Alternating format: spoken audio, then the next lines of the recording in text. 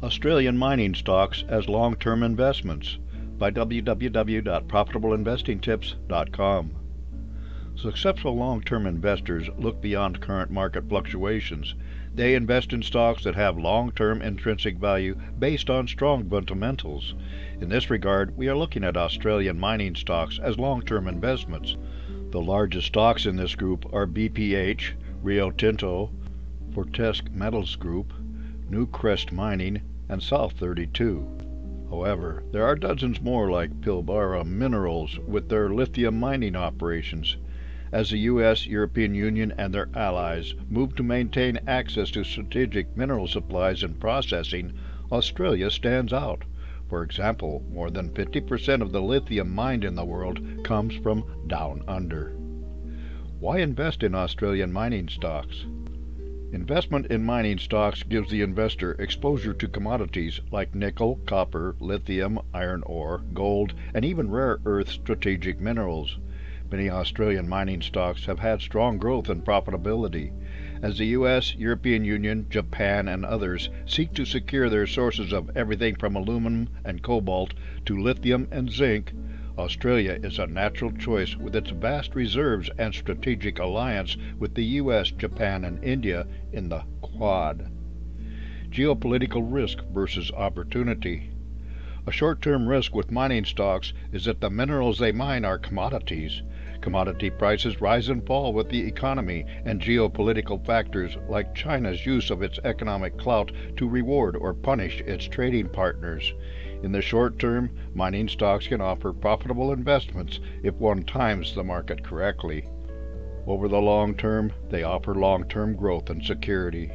In the case of Australia, they currently send much of their production to China, but do not need to do so as long as other markets are available. Mining company benefits from the Inflation Reduction Act.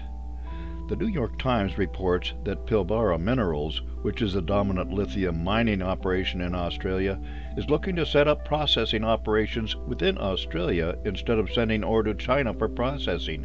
While this may be expensive to develop, money is available from the U.S. through the Inflation Reduction Act. This law enables the U.S. to provide subsidies and loans to countries with free trade agreements with the U.S., like Australia. This will help Australia break its dependence on China and firm up supplies to the West that do not flow through China. Australia and the U.S. recently signed a critical minerals agreement that will further facilitate this sort of pivot from China back to Australia and to allied nations. The point is that there will be money available to help Australian mining companies pivot to supply the U.S. and its allies in preference to China, and this is likely to generate long-term profits for these companies. Track records of Australian mining investments. Pilbara Minerals was founded in 2005 and was a penny stock trading in the Australian market until it rose above a dollar a share, Australian dollar, in 2021. Today it trades at $4.99 Australian dollars with a PE ratio of 8.4. It does not pay a dividend. Meanwhile, the second biggest mining company operating in Australia is the multinational Rio Tinto. It is an English and Australian company that trades on the London and Melbourne exchanges with ADRs available on the New York Stock Exchange. A Rio Tinto ADR share traded for $10 in 1990 and trades for $58.99 today. It has a PE ratio of 7.74 and a dividend yield of 15.41%. The stock started the year at $77 before falling to its current price. These two companies are bookends of the mining company investment opportunities in Australia.